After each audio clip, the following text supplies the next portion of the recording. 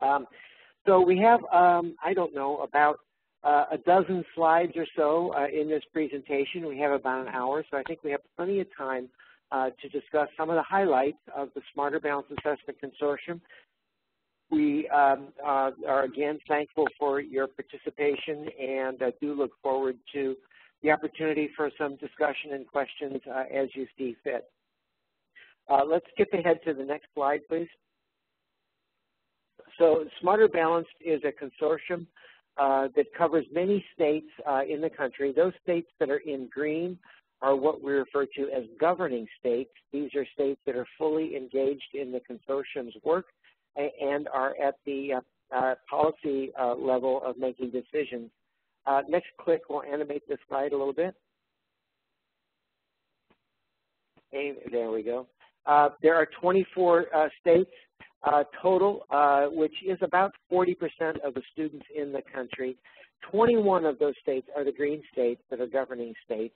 Um, and a governing state is a state, as I say, that uh, has a voice at the policy table, does vote on key uh, policy matters for the consortium, and each one of these uh, 21 governing states has what we refer to as a K-12 lead uh, who sits on our governing panel and also a higher education lead uh, who uh, carries forth uh, policy matters to the higher education community uh, in their state um, and uh, can chime in on votes necessary for higher education policy issues. Three states are in blue on this map. they're what we refer to as advisory states. These are states that have not necessarily fully yet committed to Smarter Balance, um, a couple of those states are in uh, more than one uh, consortium.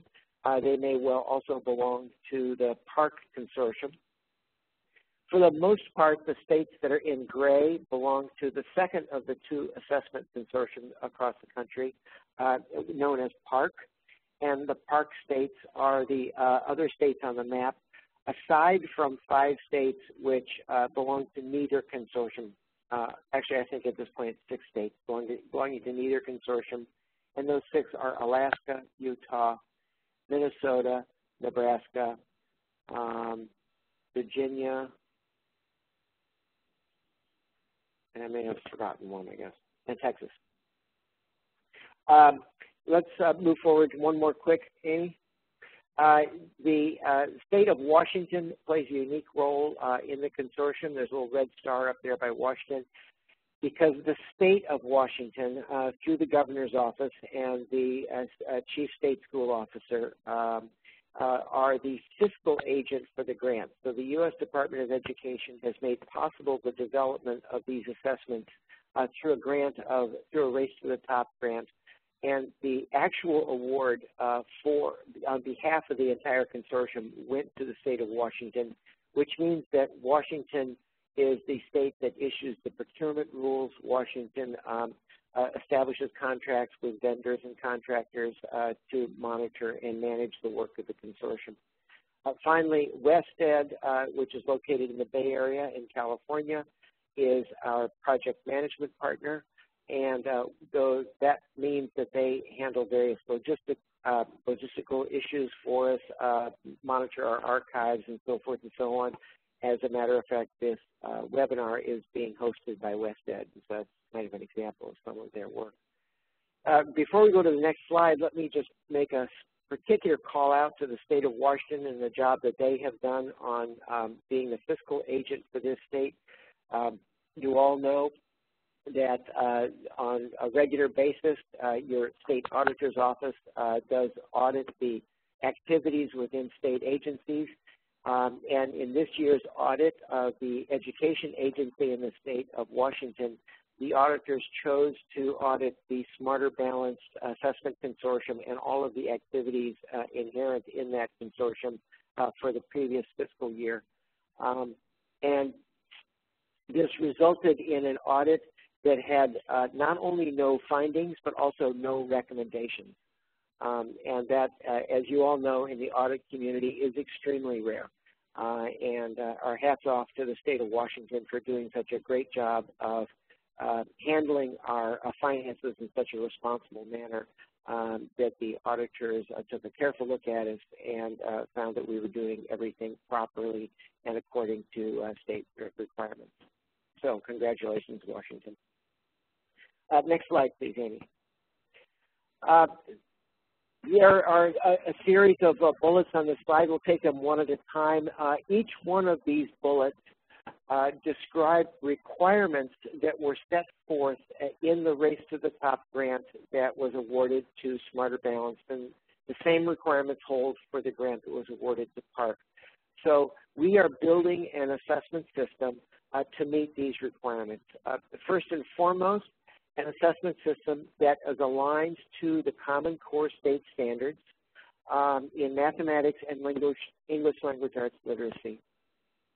This means, uh, of course, uh, that that's the, the scope of our assessment. Uh, so we are not building science tests, we are not building social studies tests and so forth and so on, but we are building mathematics and English language arts uh, literacy uh, assessments for our member states. These assessments will be used uh, for federal accountability purposes, meaning that the assessments occur in grades 3 through 8 and at least once in high school. And in the case of Smarter Balance, that is in 11th grade in high school.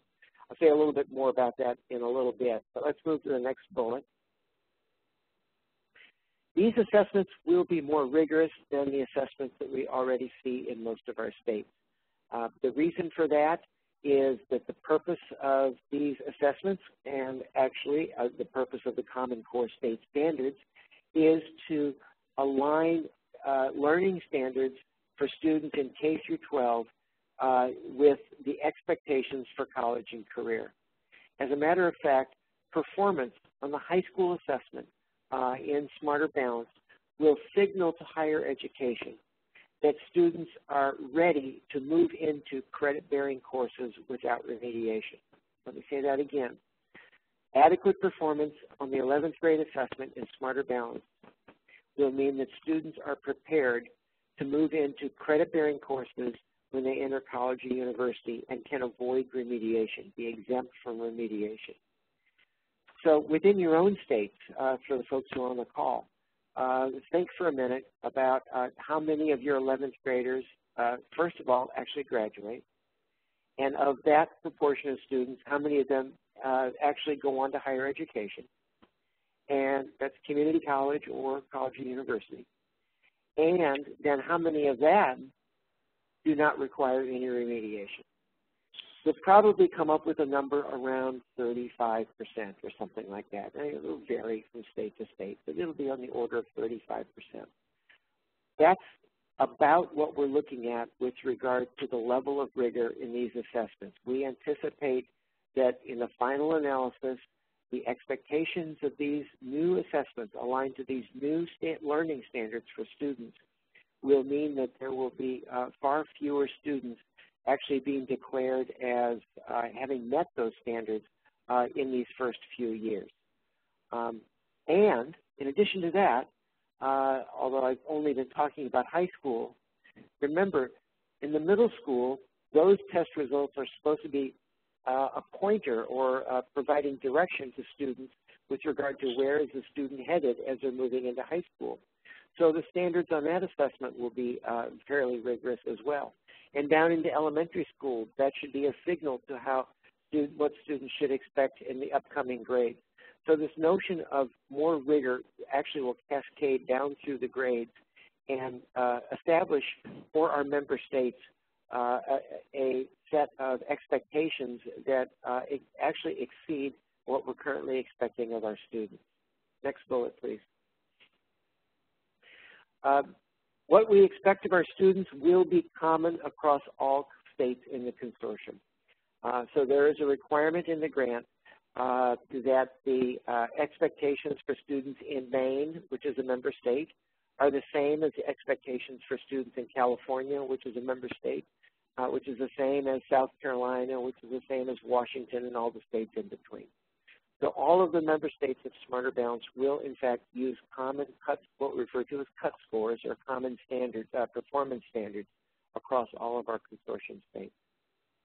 Uh, I would say a word here to mention to you that although the federal grant does not require that there is any agreement across both the PARCC states and the Smarter Balance states, uh, the two consortia, PARCC and Smarter Balance, have agreed with each other that we will establish a common uh, uh, performance criteria across these cut scores.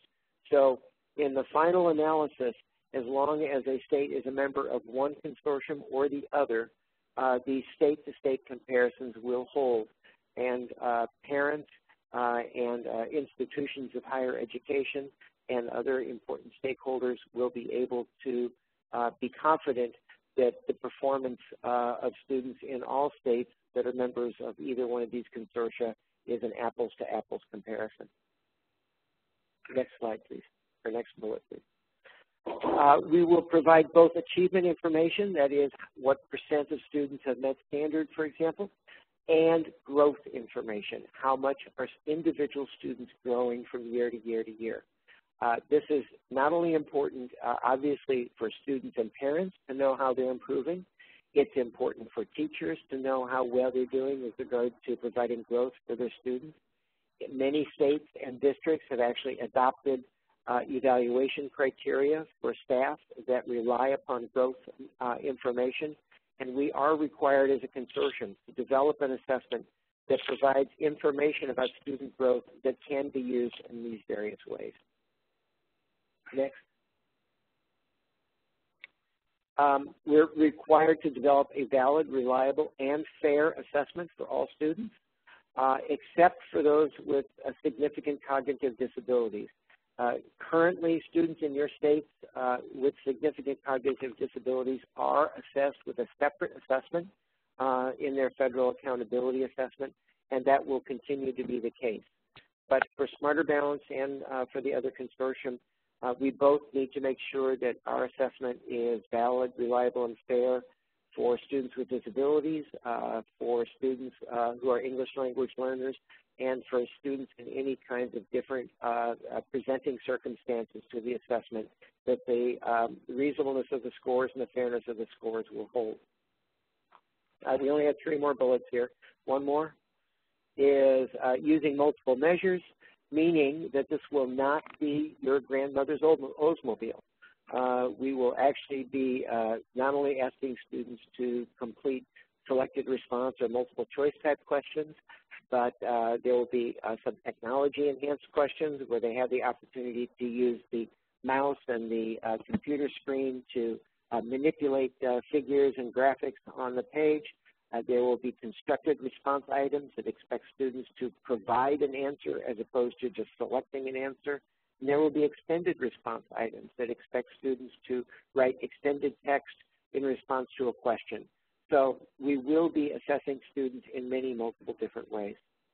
Uh, second to last bullet comes up that these assessments are required to be administered online, uh, meaning that students will have to use a computer uh, to participate in the assessment program. I have a separate slide about the online issue, and I know many of you likely have questions about that, so I'll postpone further comments uh, until a little bit later on. And finally, uh, we are required to go operational in 1415, which means that in the spring of 2015, uh, these assessments uh, for our member states will be used for their federal accountability assessment and for other assessment purposes in, uh, in your state. Um, and in the fall of 2014, we will first make available uh, a, a, number of support materials uh, that I think you'll uh, understand what those are as we move through this presentation. So let me, uh, that's a big mouthful, a lot of bullets here on this page, a lot of text. Let me pause for just a moment, see if there's any questions.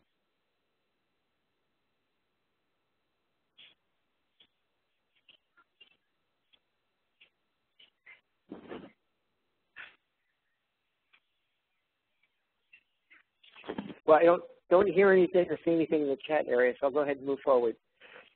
So next slide. Uh, we're happy to report that Smarter Balance has a deep commitment to being a state-led uh, organization uh, and that we are committed to transparency about our work. So although we are using state uh, race to the top funds, so it, although we did get a federal grant for this assessment development.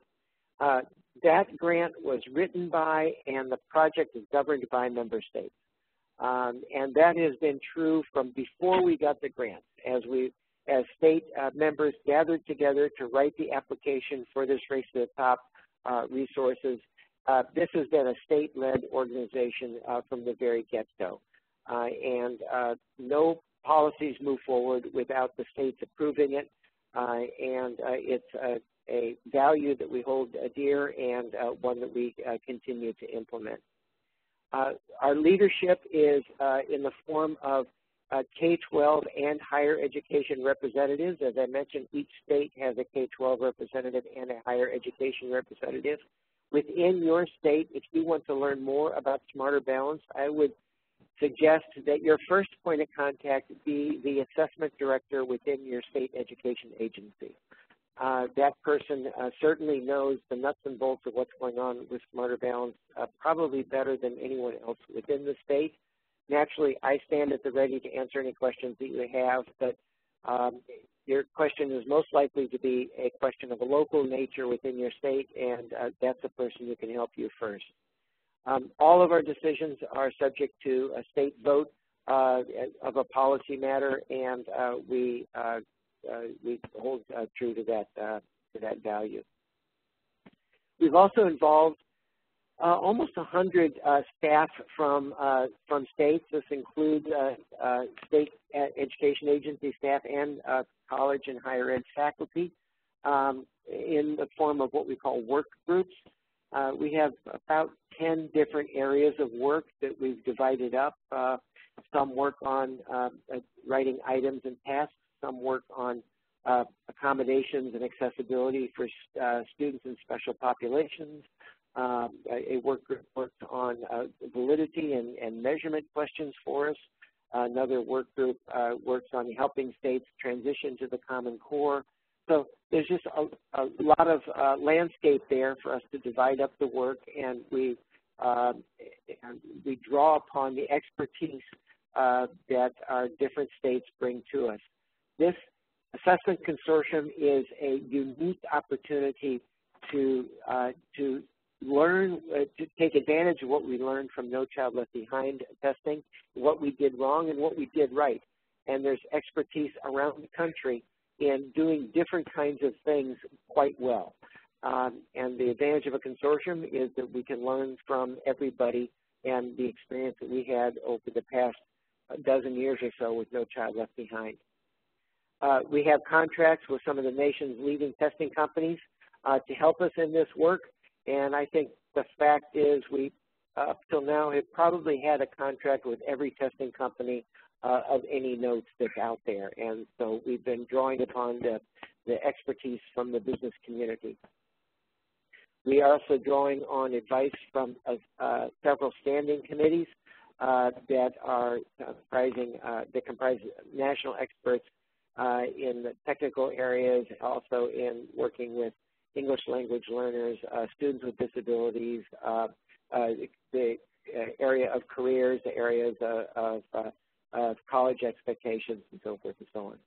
And finally, everything that is not a secure document because uh, to release it would uh, expose areas of the test that we can't release.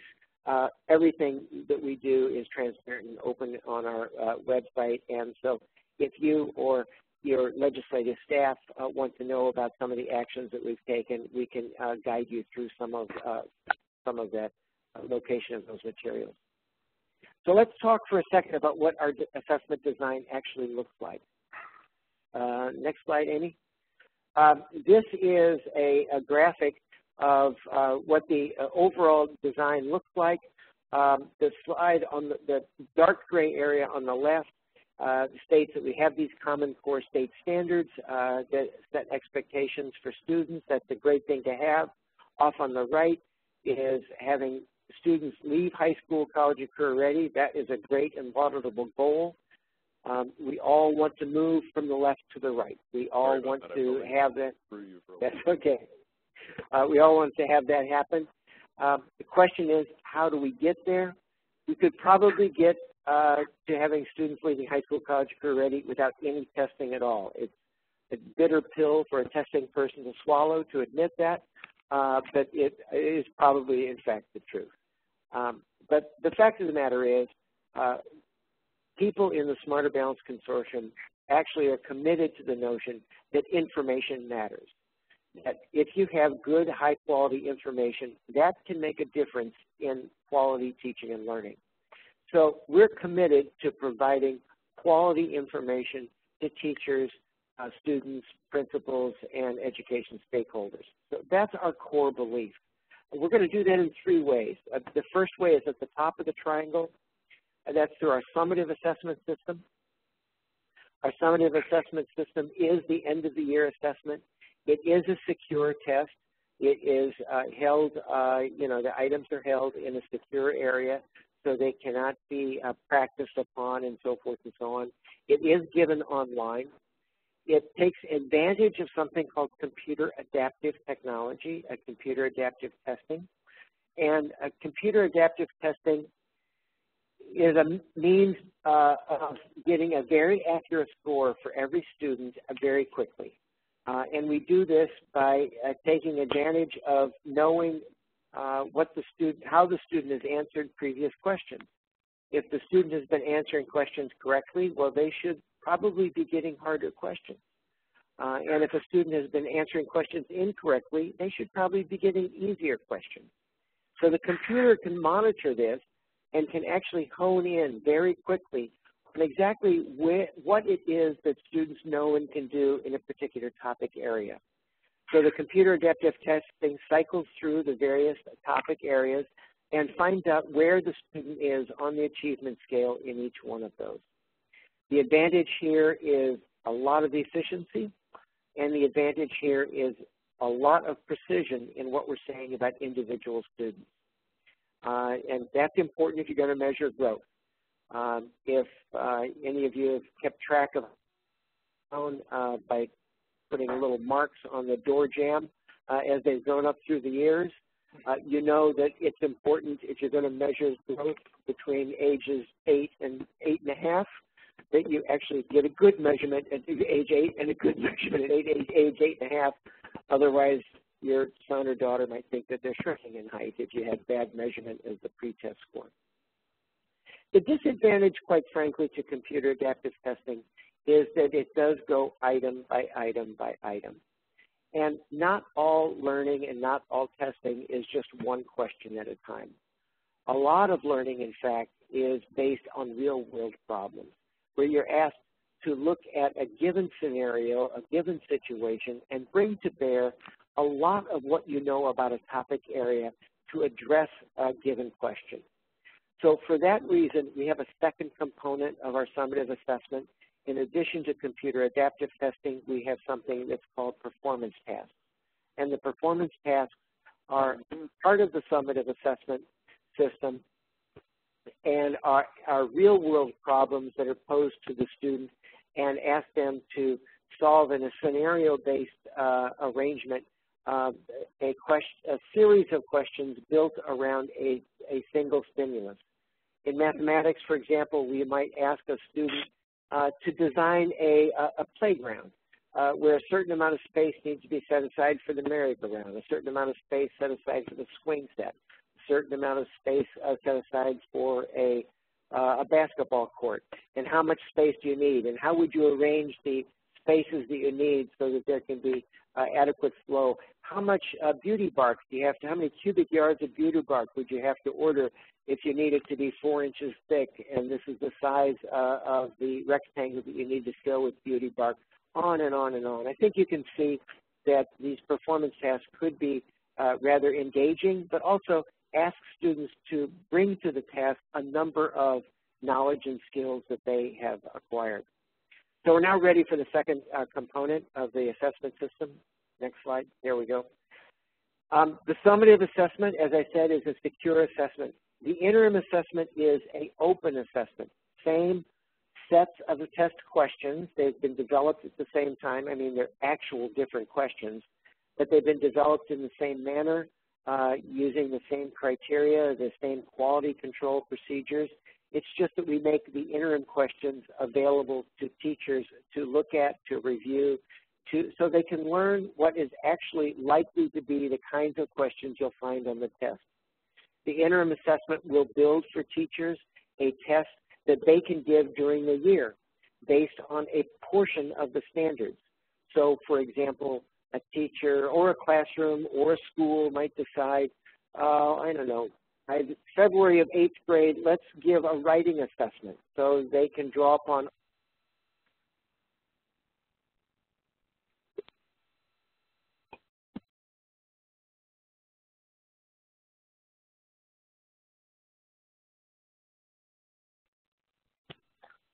Sorry, my battery just went dead for a second. I'm back. Um, and uh, they can draw upon all of the uh, resources in Smarter Balance to give a writing test uh, that would uh, that would be given to their eighth grade students. another school might decide that at the beginning of fifth grade in the fall they want to give a proxy for the entire uh, end of the year assessment. They can call upon the interim assessment to do that, and uh, that would occur. So the interim assessment is extremely flexible. It's available for schools and teachers to use. Smarter Balance will not design when the interim assessments occur, whether the interim assessments occur. Uh, it will simply make this available as a resource for our member states. The final component is a formative component. You know, formative assessment is the assessment that occurs day in, day out in the classroom with teachers working with kids. Uh, we do not intend to build assessments or test questions for the formative resource. It would be presumptuous of Smarter Balance to think that it could build a test for every possible circumstance of every teacher in the consortium and the kind of teaching that goes on in every classroom. After all, teachers are best when they are left uh, to their own uh, uh, experience and creativity and knowledge of their students uh, to adjust their lessons as they're moving through them. What we intend to do with the formative resources is to improve teachers' skills at giving good assessments. Uh, there are skills that you can learn about what makes classroom tests good and what makes them uh, not so good or relatively trivial for students, and we want to help teachers in this regard so this will be an area for professional development, for pre-service development, for folks beginning to learn how to enter the teaching uh, workforce uh, that we think can improve the, the status and the quality of assessment as it goes on day to day in classroom instruction. So that's the whole system. We refer to this as an assessment system. We think that Smarter Balance is not just a test, it really is about an information system based on quality assessments uh, throughout the year and at the end of the year to monitor how students and schools are performing. Uh, we have a, uh, let's see, I have a question coming in. Um, so a, a, question was posed with regard to the formative and whether or not those are predetermined assessments or a bank of items that teachers and schools can use. Uh, I think our initial design is it'll probably be both. Um, it will be predetermined in the sense that there would be a menu that schools and teachers could choose from. There would be some predetermined assessments that we think are likely to be the most popular. Uh, but it would also have the added flexibility for uh, folks who uh, perhaps want to explore and do something a little bit um, off uh, off the standard menu uh, and do a replacement. So if they want mashed potatoes instead of green beans, they can uh, request that as a special order and it would design that particular assessment for them. But we will have a menu to make life a little bit easy for our teachers. So let's move to the next slide. As we're doing this, um, I do want to acknowledge that Daniel Thatcher has joined our call from NCSL. So Daniel, let me give you a couple minutes to see if you want to say a few words of welcome to our uh, folks on the call. Sure, thank you. Um, and can you hear me, Dr. Joe? Yes, I can. Okay, great, great, thank you. Well, I apologize for uh, jumping on late. I was having technical difficulties with my browser uh, at work here. Um, but I, I do want to thank you very much for taking the time to be here with us this afternoon. We at NCSL have surveyed our constituents, legislators and legislative staff uh, on what are their top concerns regarding the Common Core state standards, and repeatedly the feedback we get is that the questions they have are around the assessments. So that's why uh, we are working uh, with you and um, and uh, in our meetings focusing on the assessments. And in fact, legislation that's been introduced so far this year, I've been able to identify over 100 bills that deal in some way with the Common Core state standards, and just about half of those in some way deal with the assessments. So um, thank you. This is very timely. Um, and uh, I, one last thing is that we here at NCSL, NCSL are preparing a toolkit for legislators and legislative staff to be available uh, later on in the springtime. And it will have um, uh, a number of menu items and policy levers to consider as uh, you move forward with implementing the assessments and the, the Common Core state standards. So be looking for that. Uh, but that's that's all I would like to say right now. Thank you for being here and, and for doing this. Great, Daniel. I appreciate it. And uh, these slides will be available to everyone who's on the call. Is that right? That's right. Great, great. Um, so uh, uh th this slide I, I, think you might find useful. I, I tried to break out uh, the, the, different kinds of things that we're doing. This is just has this slide just has to do with the summative assessment. So this is only considering the, these secure assessments um, where uh, students get uh, a score uh, where the testing occurs at the end of the year. Uh, first of all, that first row in grades 3 through 8 and 11, um, the purpose would be school district state accountability, and the primary user there um, is the U.S. Department of Education through the Elementary Secondary Education Act and No Child Left Behind. Um, so this is the federal accountability piece. Uh, and so that's kind of our primary purpose, so we put that up there. The next one is for 11th graders only. Uh, the purpose would, in addition to that school and district accountability, the 11th grade test has a unique accountability um, uh, consequences for 11th graders. Namely, it will declare whether or not students are ready for credit-bearing college coursework. So the primary user of that will be institutions of higher education. Uh, and they will be using that uh, tool to indicate whether or not the student has become exempt from uh, requiring remedial, uh, remedial work uh, in college or university. Uh, stepping down, we're also going to be providing secure assessments that states can use for 9th, 10th, and 12th grade. Remember, we have the 11th grade test, but if states, we recognize that many states, for example, have end-of-course testing. Many states have graduation requirements that they want to start giving students an opportunity to take in, in say, the ninth grade or the 10th grade. Um, and many states have uh, teacher evaluation programs that require monitoring student growth uh, across grade to grade to grade and not just jumping to grade 11. So there are many different purposes here, but we want you to know that the state is primarily the customer here. The state decides uh, what the uh, necessary use is and could design 9th, 10th, and 12th grade assessments using the Smarter Balance system and using items in the Smarter Balance pool for its own, uh, for its own purposes and uh, needs. And then finally, in grades 3 through 8 and 11 using the regular Smarter Balanced assessment, we do uh, acknowledge that some states or in fact some districts have uh, evaluation procedures in place that require uh, taking a look at student growth from year to year uh, and that our assessment could be used for that particular purpose and that would be a state or a district decision. Uh, that's not a federal decision, that's not necessarily a federal requirement, but it is something that states and districts uh, may have already decided to do or may be deciding to do in the future. So uh, I think this slide kind of captures the various uses and purposes and who kind of our customers are with regard to those uses and purposes for the uh, secure assessment. Next slide. Um, what we've uh, got here is some major milestones. Uh, you know, we write a lot of test questions and we need to try them out.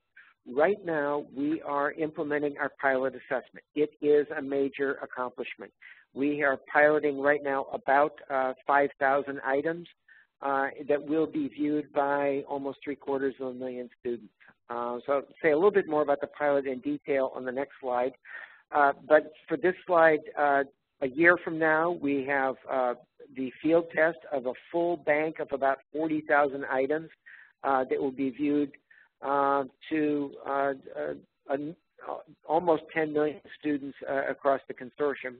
And finally, we will be deploying the, um, the fully operational assessment system in September of 14. So the great news is that the pilot assessment is up and running. It started on February 20th, um, and uh, we have a help desk active for folks to call for help. Uh, we're not getting many calls on the help desk. Uh, the assessment system uh, is running in a healthy fashion. And actually the tool that students use to take the pilot test is the beta version of the final tool that students will use in the final operational test. So in addition to field testing items, we're field testing uh, our own uh, delivery system, and things up to this point uh, seem to be working, be working very smoothly. So we're extremely excited about that. Let me say a, a, just a little bit more about the pilot test. So go ahead to the next slide. As I said, it began uh, uh, on the 20th. It runs all the way through May 24th. About three quarters of a million students in 4,000 schools. Why are we doing it? Well, a number of reasons. We want to evaluate the reasonableness of the items that we've developed so far to make sure we're on the right track. So are, for example, are performance tasks working well and that and are they getting and extracting from students the kind of information we hope to gain from students? Um, can we computer score these open-ended questions? To what extent can we rely on artificial intelligence scoring, and to what uh, extent do we have to uh, rely, continue to rely on hand scoring, which, as you all know, is more expensive than, than uh, computer scoring. Uh, how well do students use our online tools? Um, what's, are there any biasing situations with regard to our tests? Are, we're looking carefully at language uh, interference uh, on some of our items and um, familiarity with uh, with computers with regard to uh, our students who are less likely to have a computer in the house. Um, on survey questions, we ask them, do they perform less poorly than students who are very familiar with computers?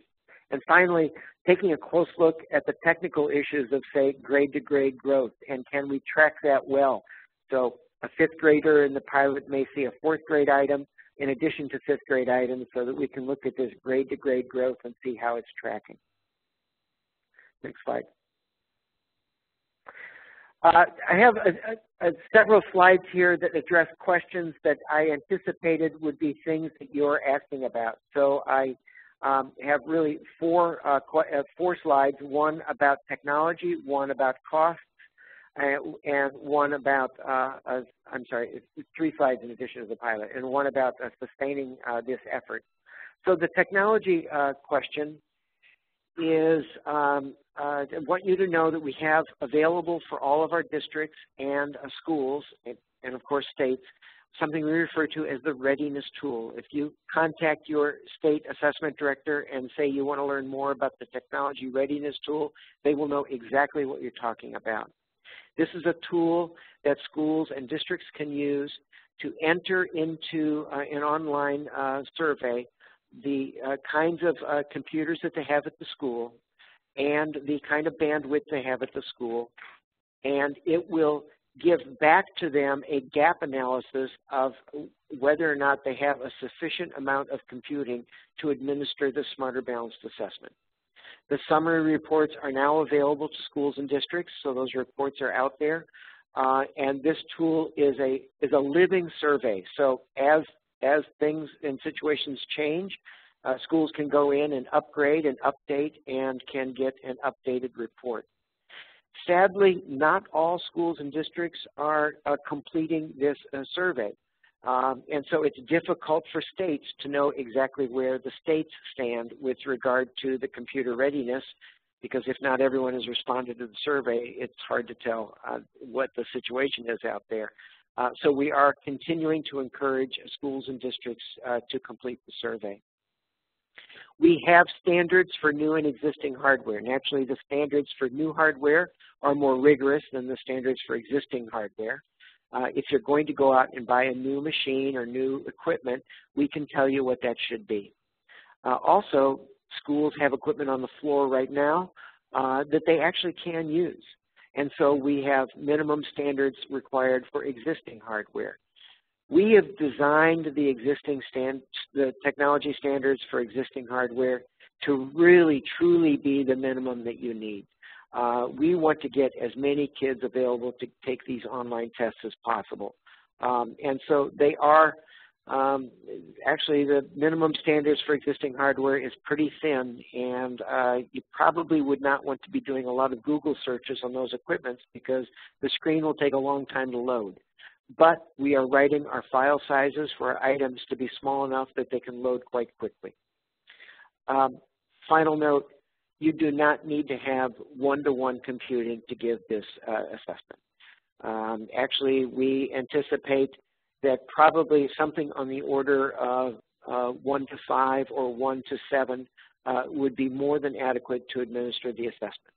Uh, so this notion of because it's an online test, every student needs to have a computer uh, is, is not true.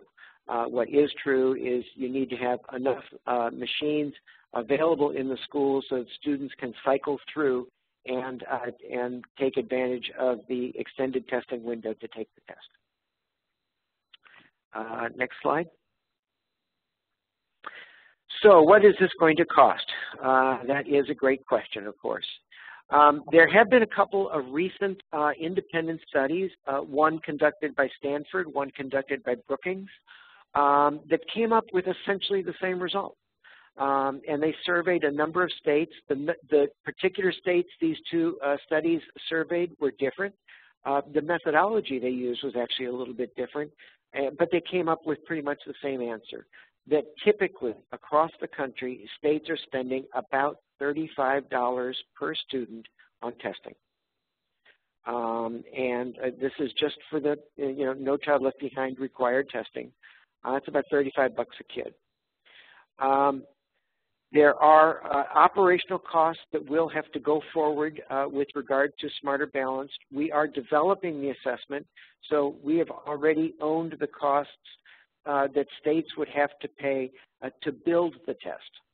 But there are ongoing operational costs uh, starting in the first year, uh, which are necessary, for example, to pay for the hand scoring, to pay for hosting of the of the of the computer servers, uh, that records management that keeps track of uh, making sure that the student who started the test on Tuesday and then and then finished it on a Wednesday and then took the math test on Thursday, that all of those responses get attached to the same student, even if the student moves to a new school district in the middle of the testing. Um, so that's kind of all this records management work, which does take some back-end work quality control, making sure that the um, items that end up uh, misbehaving or being uh, having errors in them and so forth and so on are caught and captured and removed and replaced with new items and so forth and so on. So there are a number of operational costs um, just to keep the assessment running once we go live. We did a cost estimate in June of 2010. It looked like that was about $20 per student for the summative assessment only. So that's at grades 3 through 8 and 11, just the top of that triangle that I showed you a little bit earlier, just for the summative assessment is about 20 bucks a kid. The, if you add the interim and formative, the two bottom parts of that triangle, it adds about another $7 per student. So the total cost for Smarter Balanced is about 27 bucks a kid as opposed to the average of about $35 a student uh, across the country now. Now, some of you are celebrating this slide right now because we're coming in a whole lot cheaper than you are right now. Uh, some of you are uh, bemoaning this slide because we're coming in more expensive than you are right now. If we're coming in more expensive, it's because, for example, we're, we are assessing writing every year and you probably are not assessing writing every year, if, uh, if at all, if you're substantially cheaper than this. Uh, and then there's a third group of you who aren't neither celebrating uh, nor bemoaning this slide, but wondering what it means for you because you don't really know right at this moment what your cost per student is. Um, and, but again, once again, the folks in your assessment office uh, in your uh, state agency do know and uh, they can get that information for you and do have a sense of what your cost, uh, relative costs would be. I will tell you that we have uh, contracted uh, with a company uh, that is independent of us, so we're not looking at our own navel, um, to update our cost estimates um, for uh, Smarter Balanced right now. Um, and those are due in early March. Uh, by the end of the first week of March, we should have the preliminary results from that cost estimate, and we will be sharing that as quickly as we get it with the K-12 state leads uh, in the consortium, and I'm sure they'll be able to get it to you or, or your staff. Next slide. Finally, you know, this is a federal grant that expires September 30th, 2014, and uh, at that point in time, uh, someone turns off the lights and uh, the resources go dark. So we need to figure out how we're going to sustain this effort so that we can continue to support states uh, with this assessment because there will be calls to the help desk, there will be uh, needs uh, and requests for services and, and, help and assistance and ongoing maintenance of the uh, item quality and so forth and so on. Uh, we were fortunate uh, to be able to draw upon a grant resource made available to us from the National Governors Association and the Chief State School Officers Organization. Um, and uh, they uh, contracted with McKinsey and Company to help us build a business model and a business plan uh, and to figure out what our costs are likely to be and to how to uh, how to uh, characterize those. We will be build, bringing that business model to our uh, chiefs, to the chiefs in our governing states, when we meet with them on March 20th in Washington, D.C. at what we call our collaboration conference. Um, and we will be presenting the business plan to them at that time, uh, and that will include our model for sustainability and um, and those costs on the previous page are captured entirely uh, in this uh, sustainability plan. So the sustainability plan does not add costs um, to the costing from the previous slide. It, it simply partitions the cost into you know, what are the various categories uh, of the costs and what can we tell states about how much these assessments are truly likely to cost uh, once we go live. Uh, last slide is our website, uh, smarterbalance.org. So we welcome you to go there. There's a lot of information there, uh, and so we please invite you to go to our website. Uh, and as I had hoped, I was able to finish with a few minutes left, so we do have the opportunity to respond to questions you may have.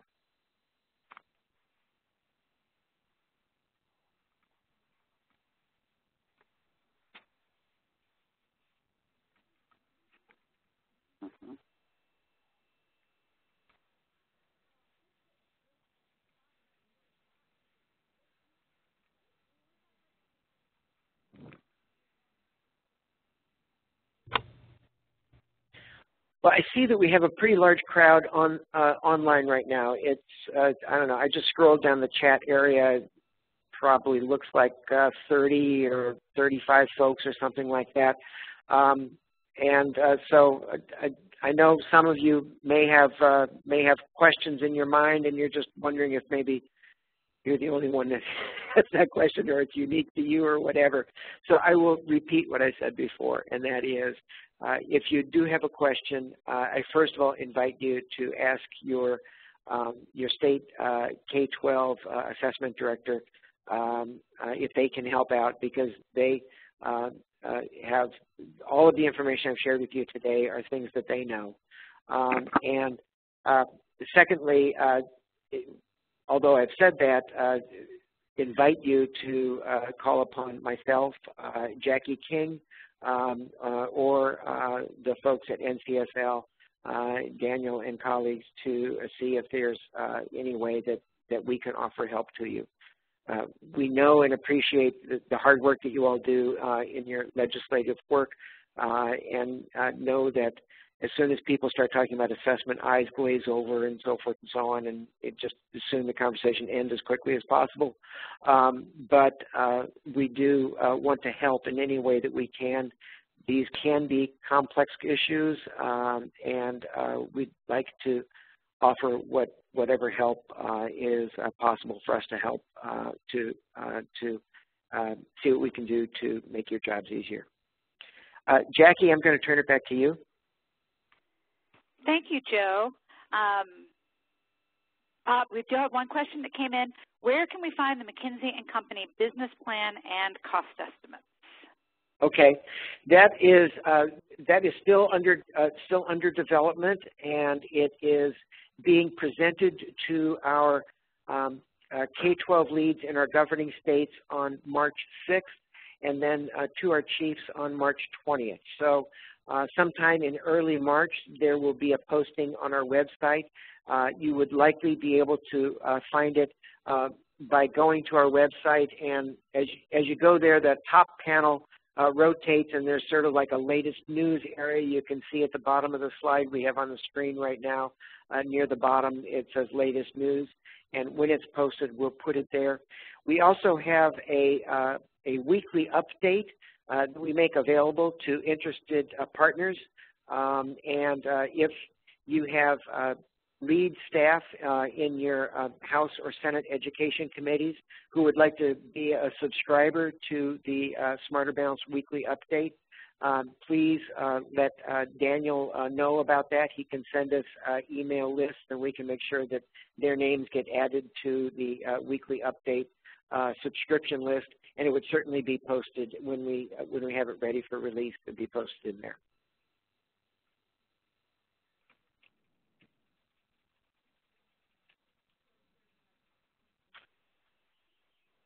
other questions that folks might have in these last few moments?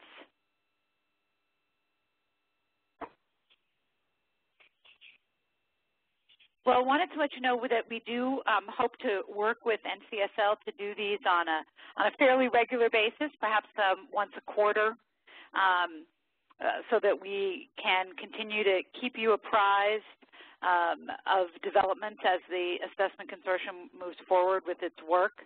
Um, uh, but that there's no need to wait for those those webinars to check in. We're always um, available and, and happy to answer um, whatever questions you may have. Um, working through your state assessment uh, offices um, will probably get you the most state-specific question, but if there's things that come up that um, they can't answer, they absolutely know how to reach us as well. So um, Daniel, anything you'd like to say before we before we finish? Uh, I don't. I just want to thank you again for engaging us and uh, and our constituents, the state legislators and the legislative staff. And um, traditionally, this has been a process that hasn't involved uh, our constituents. Uh, so, kudos to you for engaging us. We really appreciate it. And um, and I echo that we continue. We will plan on continuing to co-host webinars uh, and in, engage one another in where we can to provide as much information and resources to staff and to legislators where needed.